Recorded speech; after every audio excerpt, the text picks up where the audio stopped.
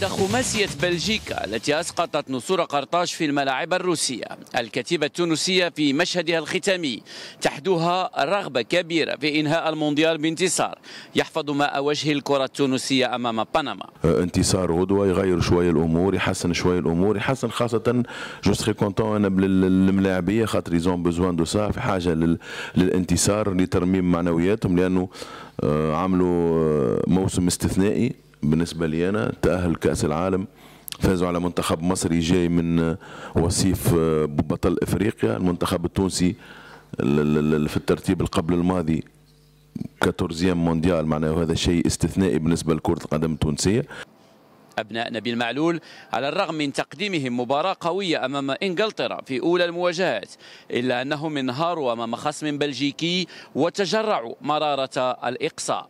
ليتأجل بذلك حلم التونسيين في تجاوز دور المجموعات إذ لم يحققوا في مشاركاتهم الخمس وانتصار واحد في العام 78 ضد المكسيك. صراحة بالنسبة للمنتخب الوطني التونسي المباريات الودية والوجه الكبير اللي بين به المنتخب الوطني التونسي في المباريات الودية غلت الناس الكل في تونس الشعب التونسي حتى المسؤولين يمكن حتى الإطار الفني للمنتخب الوطني التونسي وقت شاف الوجه هذاك طمع حب يمشي لبعيد في كأس العالم لكن اصطدمنا بواقع آخر في المباريات الرسمية في كأس العالم.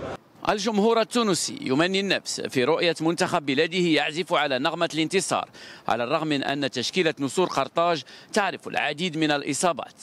ولحساب ذات المجموعة وفي صراع على الصدارة تلتقي بلجيكا في قمة نارية. إنجلترا مباريات تنطلق على الساعة السابعة مساء. بالمقابل تعقد القارة الإفريقية آخر آمالها على المنتخب السنغالي بعد إقصاء كافة ممثلي القارة السمراء منذ الدور الأول. أسود التيرانغا في محك مصيري أمام كولومبيا بقيادة النجم الأول ساديو ماني وعينهم على اقتناص نقطة واحدة فقط للعبور إلى دور الثمن للمرة الثانية في ثاني مشاركاتهم في المونديال.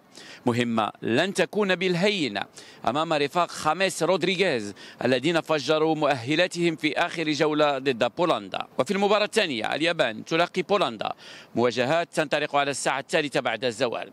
فهل ترفع السنغال يا ترى راية القارة السمراء؟ بعد خروج إذا كل المنتخبات الإفريقية منذ الدور الأول من مونديال روسيا. الآمال كل الآمال تعقد على منتخب السنغال لتفادي وتجنب كارثة كروية قارية بإقصاء خمس ممثلي الكاف في المونديال.